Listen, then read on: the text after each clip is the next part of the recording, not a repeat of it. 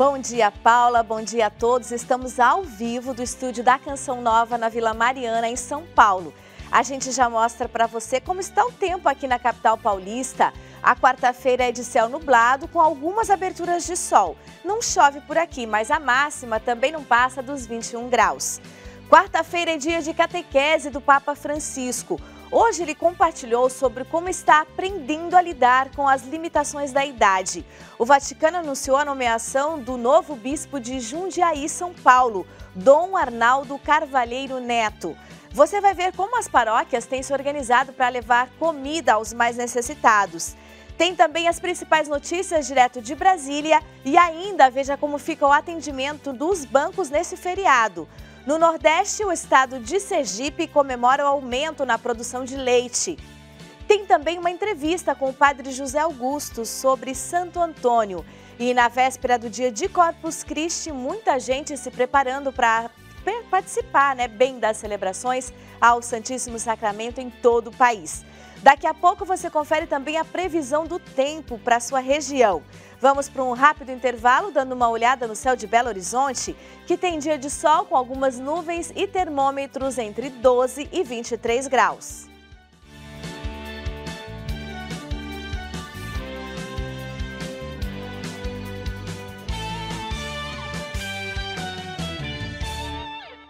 Papa Francisco hoje, ao falar dos idosos durante a catequese no Vaticano, partilhou sua experiência pessoal. Disse estar aprendendo a respeitar os limites de seu corpo nessa fase da vida.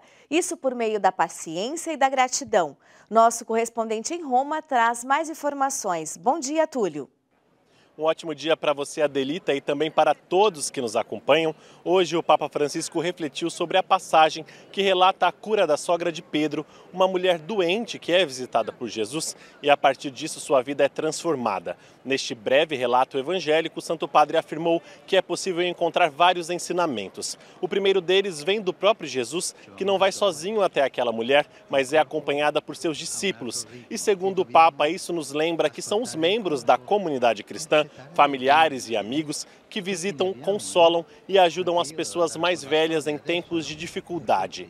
Francisco destacou também que são significativos os gestos que Jesus faz e a atitude desta mulher. Jesus se aproxima dela, toma pela mão e faz levantar-se com doçura e ternura. Ao curvar-se diante dos necessitados, Jesus revela sua sensibilidade para com aqueles que sofrem e anuncia a salvação. Outro ensinamento ainda é o da sogra de Pedro, que ao ser curada responde com gratidão e espírito de serviço. O pontífice afirmou que a gratidão daquela senhora é fruto dos dons que recebeu de Deus, como a fé, a alegria, e ela traduz isso através de obras concretas. E ressaltou que o serviço evangélico não deve ser exclusivo das mulheres, mas pelo contrário também exercido pelos homens e por toda a sociedade. Isso é na verdade uma oferta de gratidão a Deus, que tem como destinatário sempre os nossos irmãos e irmãs. Hoje também, Adelita, o Papa se incluiu nos exemplos e disse que os mais velhos não podem fazer as mesmas coisas que faziam na juventude, pois o corpo tem um ritmo diferente. Destacou que é preciso aceitar esses limites. Inclusive, ele tem aprendido isso ao precisar de ajuda para se locomover e deu como exemplo que ele tem usado uma bengala. Ao final, o Papa agradeceu a todos que rezam por ele e novamente pediu para que não nos acostumemos a viver como se a guerra fosse uma coisa distante e pediu orações pelo povo ucraniano ano. Adelita, trago agora uma notícia para a Igreja do Brasil. O Papa Francisco aceitou a renúncia ao governo pastoral da Diocese de Jundiaí, apresentado por Dom Vicente Costa, e nomeou Dom Arnaldo Cavalheiro Neto, que estava até então na Diocese de Itapeva, como o novo bispo de Jundiaí. De Roma, Túlio Fonseca, para o Canção Nova Notícias, edição da manhã. Tá certo, muito obrigada, Túlio. E ainda dando continuidade sobre esse tema da catequese do Papa, aqui no Brasil, o governo federal estabeleceu o Junho Violeta como um mês de debates e conscientização da violência contra o idoso. Nossa equipe conversou com a enfermeira, enfermeira Salete Melo para saber como se deve ser os cuidados com a proteção dos idosos e todo o carinho e atenção que eles merecem. Essas agressões, elas podem ser físicas, elas podem ser psicológicas, elas podem ser de liberdade, negligência, patrimonial. E infelizmente é um assunto muito atual, porque com a pandemia tem aumentado muito os casos de violência contra os nossos idosos. Como que você consegue identificar os maus tratos com seus idosos?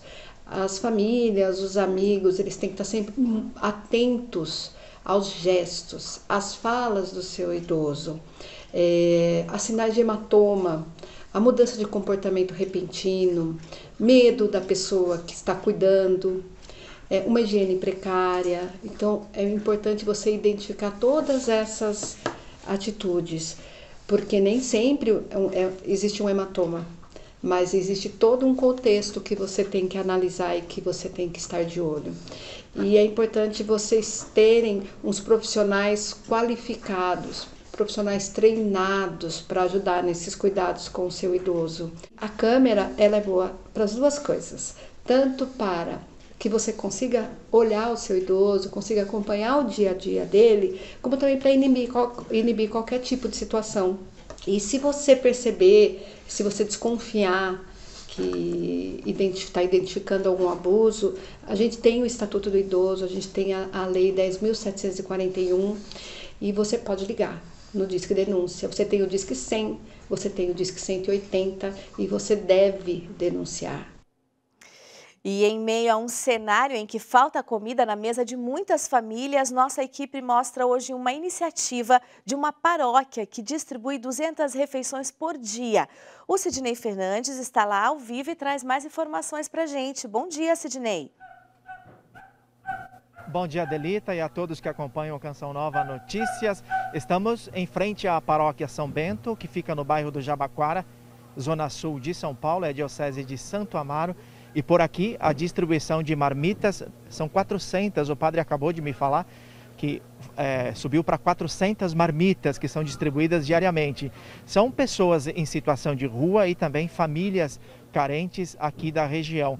E acabou de chegar aqui a, as refeições, está nesta van, eles estão descarregando. E eu converso agora então com o padre Rafael, que é o pároco aqui da paróquia São Bento. Padre, explica para gente como que nasceu essa iniciativa.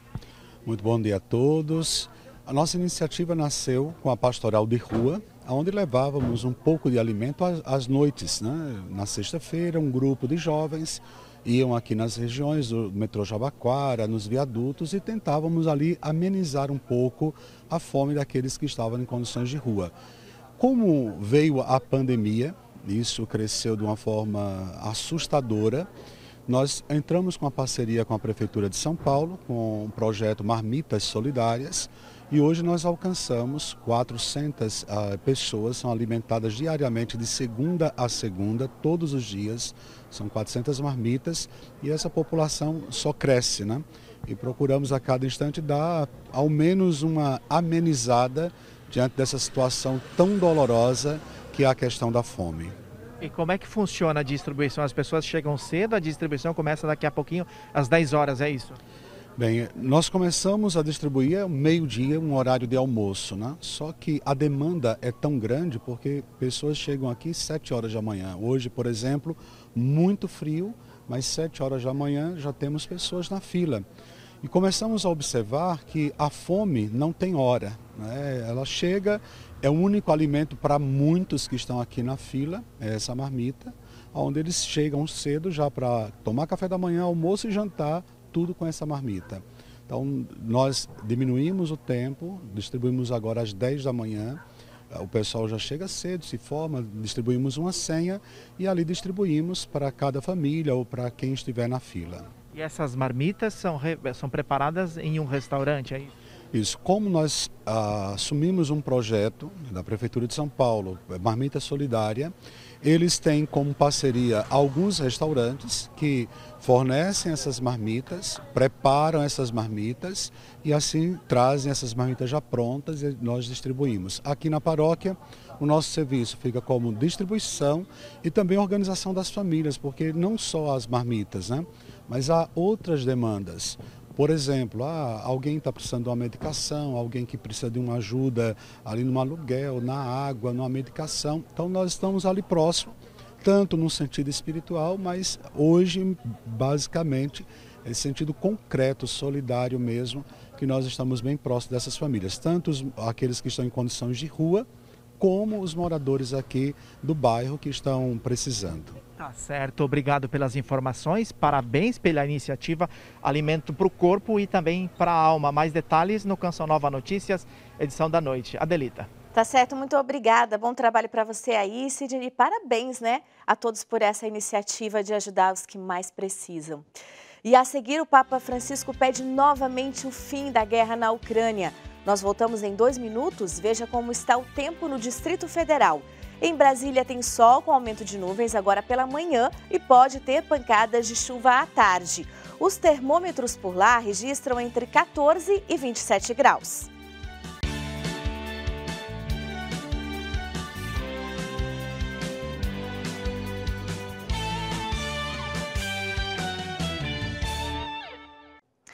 Canção Nova Notícias, edição da manhã está de volta e agora para falar das notícias internacionais.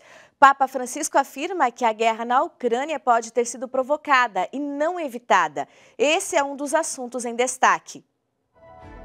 Entre seus destaques, o El País traz uma entrevista com o Papa Francisco em que ele afirma que a guerra na Ucrânia talvez tenha sido, de alguma forma, provocada e não impedida. O pontífice disse ainda: Vejo interesse em testar e vender armas é muito triste, mas basicamente é o que está em jogo. O Papa Francisco também disse que havia conversado com o chefe de Estado antes da invasão russa. Segundo Francisco, o chefe de Estado, que chamou de sábio, que fala pouco, já havia manifestado sua preocupação com as movimentações da OTAN, que estaria ignorando o fato dos russos serem imperialistas e que não permitiriam nenhuma potência estrangeira aproximando-se deles, e que essa situação acabou gerando a guerra. Segundo o Papa, aquele chefe de Estado sabia ler os sinais do que estava acontecendo. Rússia pede aos defensores de Severodonetsk que se rendam. Esse é o destaque do The Guardian. Cerca de 500 civis tentam fugir da fábrica de Azot, em corredor humanitário na manhã de hoje. O governador da região de Luhansk afirmou que cerca de 500 civis, entre eles 40 crianças, estavam abrigados na fábrica de produtos químicos. A Ucrânia ainda não se pronunciou sobre o corredor humanitário relatado. Anteriormente, havia acusado a Rússia de violar acordos de cessar-fogo preso segundo suspeito por desaparecimento de Phillips e Pereira. Esse é o destaque do Deutsche Welle. A Polícia Federal informou na noite de ontem que prendeu mais um suspeito do envolvimento no desaparecimento do jornalista britânico Don Phillips e do indigenista brasileiro Bruno Pereira na região do Vale do Javari.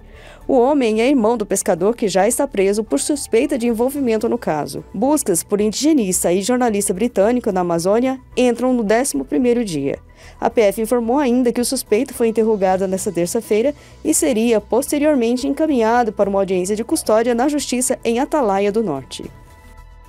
E voltando aqui para o Brasil, os deputados aprovaram o limite de cobrança do ICMS sobre os combustíveis. Direto da Câmara dos Deputados, o Francisco Coelho tem mais detalhes sobre esse e outros assuntos. Bom dia, Francisco. É, Adelita, essa aprovação abre caminho para a redução dos preços dos combustíveis nas bombas. Bom dia para você e para todos que acompanham o Canção Nova Notícias, edição da manhã. A votação começou ontem e daqui a pouco os parlamentares devem analisar os destaques. A análise iniciou também na noite de ontem, mas um problema no painel eletrônico impediu a conclusão da votação. É, depois de tudo isso, o texto segue direto para a sanção presidencial e a expectativa do governo é de uma redução de R$ 2,00 no preço da gasolina e de R$ 1,00 no preço do diesel. Isso vai depender, é claro, da cobrança realizada em cada posto de combustível pelo Brasil afora. Mas a expectativa é de uma redução significativa nesses preços já a partir da sanção presidencial. E uma outra notícia: a presidência da República vetou a volta da gratuidade no despacho de bagagens de voos comerciais aqui no Brasil. A justificativa foi que o, a volta da, do despacho gratuito poderia aumentar os custos dos serviços aéreos e impedir a competitividade do setor.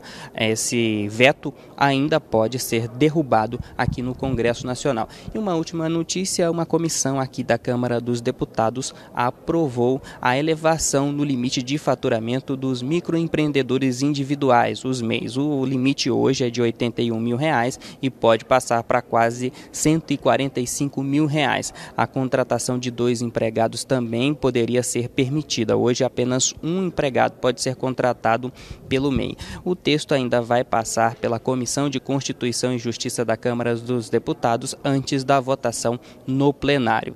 Eu volto com você nos estúdios em São Paulo.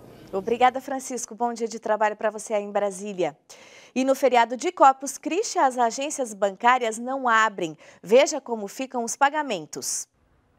Mesmo nos municípios em que a data tenha sido antecipada e não seja feriado, como é o caso da capital paulista, não haverá expediente bancário, segundo a Federação Brasileira dos Bancos. Contas de consumo como água, energia e telefone, por exemplo, que tiveram dia 16 de junho como vencimento, poderão ser pagas na sexta-feira sem acréscimo de juros. De acordo com a Febraban, normalmente os tributos já vêm com datas ajustadas ao calendário de feriados. Caso isso não tenha ocorrido no documento de arrecadação, a sugestão no caso de títulos que têm código de barras é agendar os pagamentos nos caixas eletrônicos, internet bank ou pelo atendimento telefônico nos bancos. As áreas de autoatendimento ficarão disponíveis normalmente para os clientes durante o feriado, assim como os canais digitais e remotos. Na sexta-feira, os bancos funcionam com expediente normal. Flávio Rogério, de São Paulo, para o Canção Nova Notícias, edição da manhã. E a seguir vamos conferir como fica o tempo aí na sua região. A gente volta em dois minutos. Seguimos agora para o intervalo com imagens lá de Salvador, na capital baiana. Hoje sol entre nuvens e pode chover a qualquer hora. Os termômetros registram mínima de 22 e máxima de 26 graus.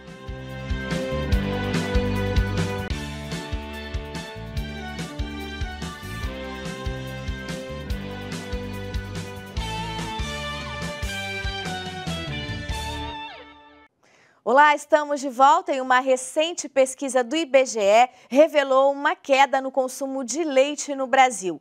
Isso aconteceu principalmente agora nos três primeiros meses desse ano, se comparado ao mesmo período do ano passado. Mas um estado brasileiro chamou atenção. Sergipe apresentou um aumento na produção de leite no mesmo período. Os detalhes com Cleverton Macedo. Bom dia. Essa pesquisa é do Instituto Brasileiro de Geografia e Estatística, o IBGE, colocou Sergipe como destaque na produção e maior consumo de leite nos três primeiros meses deste ano. O aumento foi de 7,4%, mas se compararmos com os dados nacionais, há uma brutal diferença, porque no cenário nacional houve queda na produção e consumo de leite, na ordem de 9,3%. E a gente mostrando aqui os números, nos meses de janeiro, fevereiro e março de 2022, foram comprados 89,3 milhões de litros de leite produzidos em Sergipe, o que representou um aumento aí de 7,4% em relação ao último trimestre de 2021. Esses números contrariam a média nacional, que apresentou uma redução aí de 9,3% também em relação aos últimos três meses de 2021. De Aracaju para o Canção Nova Notícias, edição da manhã, Cleverton Macedo. Vamos ver então como fica o tempo hoje? Quarta-feira já começou com geada no interior de Santa Catarina e na Serra do Rio Grande do Sul. Com o frio que permanece na região, pode fazer 8 graus em Curitiba, 13 em Florianópolis e 9 graus em Porto Alegre. No sudeste, o clima continua ameno. Pode chover em alguns pontos do estado paulista e também tem risco de trovoadas em Minas Gerais. Volta a chover em grande parte do centro-oeste, em Mato Grosso do Sul, sul de Goiás e norte de Mato Grosso, onde também pode ter trovoadas. No norte do país, chove com mais intensidade no Amazonas, Roraima e parte do Pará. O Nordeste permanece sem mudança nas condições de tempo. A costa leste ainda concentra os maiores acumulados de chuva da região. Pode fazer 29 graus em Manaus, 32 em Cuiabá e no Rio de Janeiro a máxima pode atingir os 24 graus. E junho é o mês de celebrar Santo Antônio, um dos santos mais populares da igreja e também padroeiro de Vitória, no Espírito Santo. Veja como foi o encerramento da trezena por lá. A celebração de Santo Antônio de Pádua marca a retomada dos festejos ao padroeiro da cidade de Vitória de forma totalmente presencial. O reitor do santuário, padre Roberto Camilato, presidiu a missa, que teve a participação do padre Paulo Sérgio Vailan, da Arquidiocese de Vitória, e do padre José Augusto, da comunidade Canção Nova. Ainda mais que Santo Antônio ele expressa o grande amor dele para com nosso Senhor Jesus Cristo.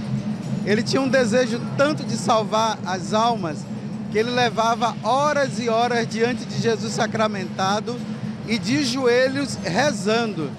Diz que nos joelhos dele ficou tão assim os calos tão grande de tanta oração que ele fez. Ele também representa para nós o grande pregador, aquele que leva a mensagem de salvação para todas as pessoas. Canção Nova Notícias, edição da manhã, fica por aqui. Um ótimo dia para você. A gente encerra agora com imagens lá de Santa Catarina, da, da Praia dos Ingleses. Deus abençoe, uma ótima quarta-feira.